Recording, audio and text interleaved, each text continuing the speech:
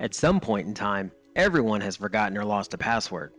If you've ever had this happen to you when working with a Linux device, you don't need to stress out.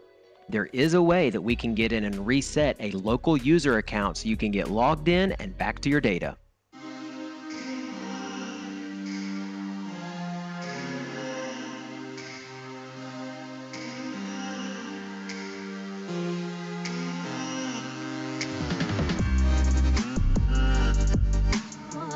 If you've ever been in a situation where you can't log into a PC or server, it's really easy to start stressing out over all the data that might be on there that you'll never be able to access again. The good news is that as long as you're using a Debian based version of Linux, kind of like Ubuntu or Linux Mint, there's a way that we can get around the booting process and actually get to where we can reset a user account without being able to log in first. So here's the few things that we're going to need just to make sure that we can do this process the way that we have outlined here today. No way to log into the system as an administrator. If you can, there's much safer ways to do this than what we are today. Other than our issue today of not being able to log in, we assume that everything else with this device is working correctly.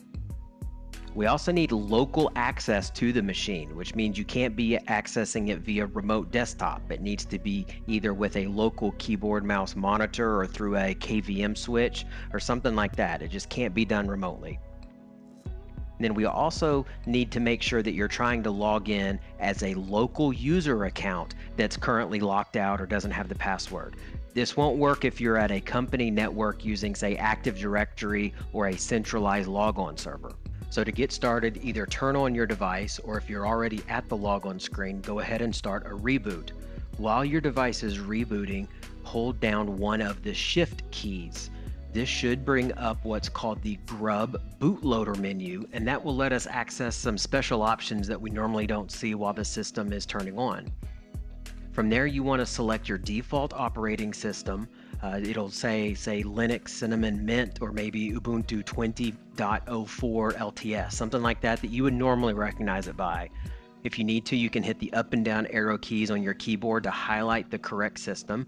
And then once you're there, press the letter E on your keyboard, and that will bring us into a text editor where we can change around some of the options that will be used while the system is booting. Inside this text editor, we want to use the arrow keys on our keyboard to go down several lines close to the end. And we're looking for the line that starts with some spaces. And we'll say Linux, some more spaces, and then it'll have a forward slash boot, forward slash VM Linux dash, and then some numbers. So we want to actually go to the end of this line where it ends in quiet space splash and go ahead and put your cursor at the end of that line and that's where we're going to type in a few things here at the end. So now with our cursor in the right place we're going to type in rw space init equals forward slash bin forward slash bash. Once we have what it looks like on the screen here, we're going to go ahead and hit F10 and that will initiate a reboot on our system. Once the system reboots, we're going to be brought into just another uh, text kind of command line version here that's going to, hopefully the last line will be root at none and then some symbols. Then at the very end of this right here, we're going to use the common Linux command for resetting a user password and that's PASSWD. And what we'll do is so you type in that phrase, a space, and then the name of the user who you want to reset the password it will ask you to change it to pick a new one. It'll ask you to confirm that. So type in the same password again, and we'll have a message that it went ahead and changed it successfully.